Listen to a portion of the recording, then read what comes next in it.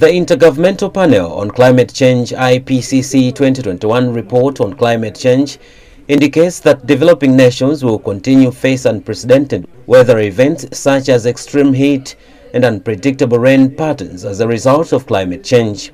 The report goes on to say that agricultural activities are at risk because farmers will not be able to harvest enough if the current trend at which the climate is being depleted continues. As global leaders prepare for the COP26 summit, climate change activists are urging world leaders to find long-lasting solutions to climate change. John Pandapanda of Jesuit Center for Ecology and Development says it's appropriate for the information that will be generated at COP26 talks to be shared to the locals. Knowledge sharing will help many to understand and also to take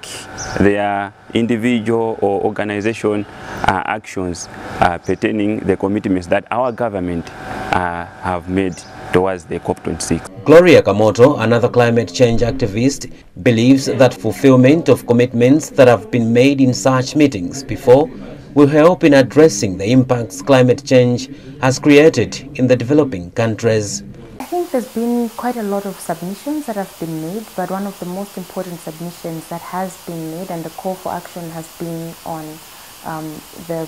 fulfillment of the obligations, and that's the hundred, that's the financial obligation from developed countries who are the historical emitters, and they um, have agreed in the past to finance climate adaptation and mitigation actions in different countries, especially for least developed countries like Malawi and we cannot state just how important the financing is because this is what will enable us as Malawi to be able to adapt but also to develop the technologies that can allow us to mitigate the impact of climate change in the future. Among the top goals that have been prioritized at the conference as the UK takes the presidency of COP26 includes the reduction of global temperatures to below 2 degrees Celsius and to protect people and nature from the impacts of climate change through adaptation.